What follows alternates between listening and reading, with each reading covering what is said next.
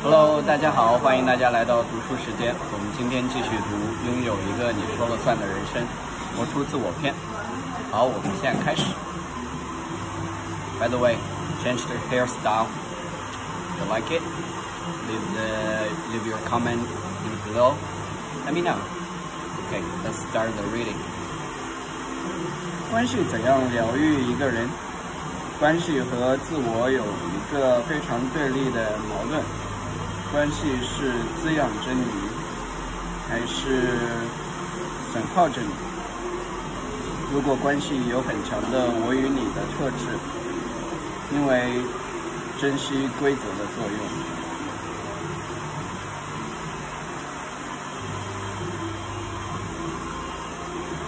那么关系就会有滋养的部分。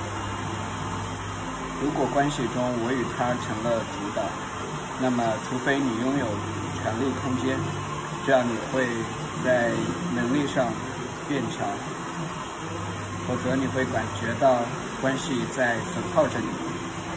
马丁布伯的哲学和罗杰斯的理论理论有很多类似之处。马丁布伯的哲学叫关系哲学，而罗杰斯的疗法叫关系疗法。罗杰斯将心理咨询师和来访者的咨询关系视为治疗中最重要的因素，而不是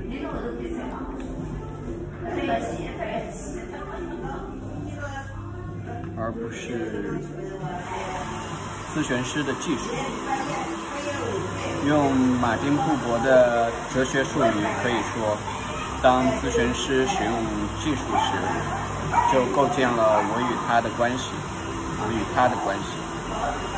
当咨询师使用本心时，就构建了我与你的关系，并且罗杰斯特别强调，他的疗法是来访者中心疗法，即来访者才是咨询关系的中心。咨询师主要是理解并接纳来访者的感受。他有一句名言：“爱是深深的理解和接纳。”罗杰斯将对咨询关系的重视提到了一个前所未有的高度。关于如何构建咨询关系，他提了几个非常简单的原则：真诚、共情、无条件、积极关注。真诚很好理解，但要做到并不容易，因为真诚意味着我所说的和我所想的。是一致的，我所想的和我所体验的是一致的。前半部分容易，是不骗人就好；后半部分极难，因为要做到意识和潜意识的一致。共情，就是设身处地的站到对方的角度上，感人所感，想人所想。更通俗的解释。其实就是深深的理解和接纳对方的感受，无条件积极关注，它也基本等同于无条件的爱。就是我对你好是没有任何附加条件的。父母对孩子如果有一定的无条件的爱，那么孩子的自我就会被释放，他就遵遵从。他就遵从自己精神胚胎的声音，走向成为自己的道路。相反，有条件的爱就是我认可你、鼓励你、接受你是有条件的，你必须达到这些条件，我才给你这些你想要的。如果你达不到，我就不给。现在，任何一个治疗流派都接受了罗杰斯。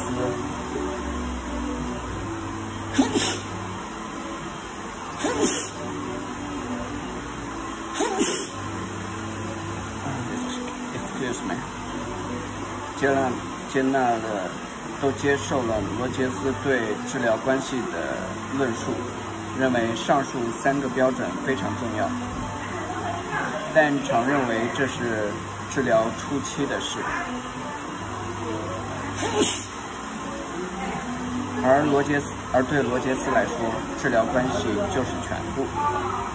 他认为，一个高质量的治疗关系，越能使一个人安全、自然、无防御地呈现自己，越能接受自己的种种体验。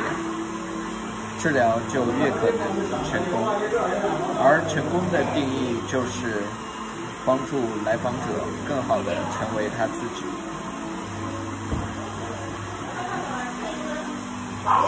为什么这样的治疗关系如此重要？因为在日常的关系互动中。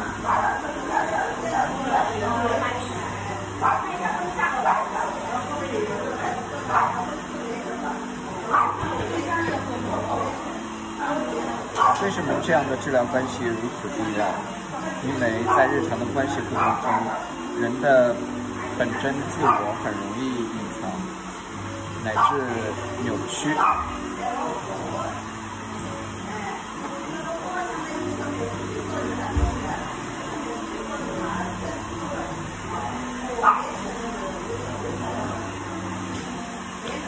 原因在于，人们获得的关注多是有条件的积极关注。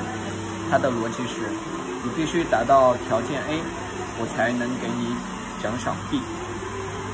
在这样的逻辑下，一个人会获得这样的经验：只有表露别人或集体认为好的东西，否则就会被拒绝、排斥，乃至被害、被伤害。于是，成长的过程就成了一个不断学习、修正自己的历程。